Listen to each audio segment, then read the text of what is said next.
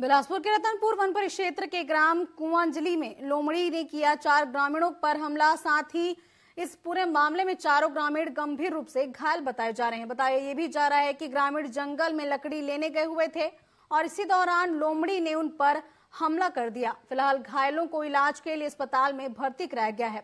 वहीं सूचना मिलने पर वन विभाग की टीम भी मौके पर पहुँची, जिसके बाद उन्होंने ग्रामीणों से जंगल में न जाने की अपील की है।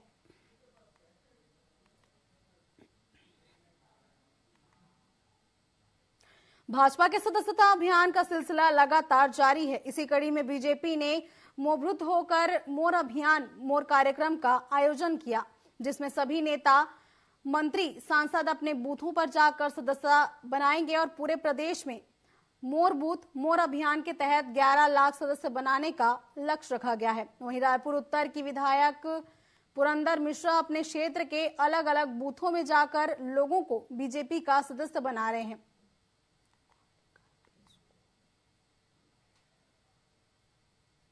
भारतीय जनता पार्टी का सदस्यता अभियान जोरों शोरों से चल रहा है। इसी कड़ी में आज मोर बूथ मोर अभियान का कार्यक्रम आयोजित किया गया है, जिसमें नेता, मंत्री, सांसद अपने बूथ में जाकर लोगों को बीजेपी की सदस्यता दिलाएँगे। हमारे साथ रायपुर उत्तर के पुत्र पुरंदर मिश्रा मौजूद हैं। भैया, ये आप लोग बूथ बूथ जाकर सदस्यता दिलवा रहे हैं, कैसे देखते हैं? देखिए, बड़ा उत्साह है लोगों में। जनता में भी है, कार्यकर्ता में भी है। हम पूरे विश्व में एक नंबर की पार्टी बनने के दौड़ में हैं और निश्चित बनेंगे।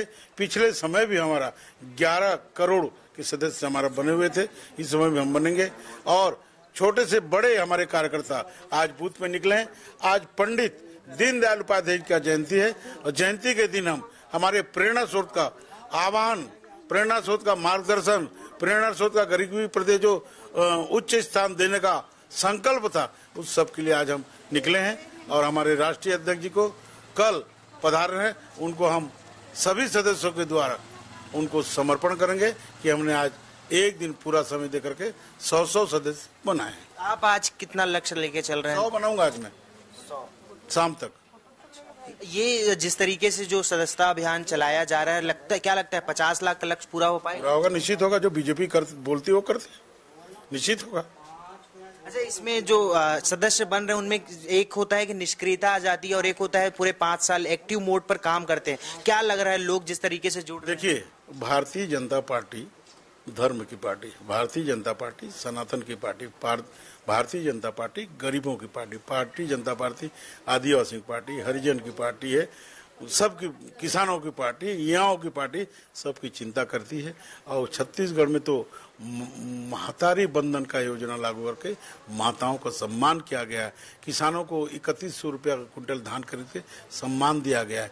सभी को सम्मान, श्रमिकों को सम्मान दिया जा रहा है।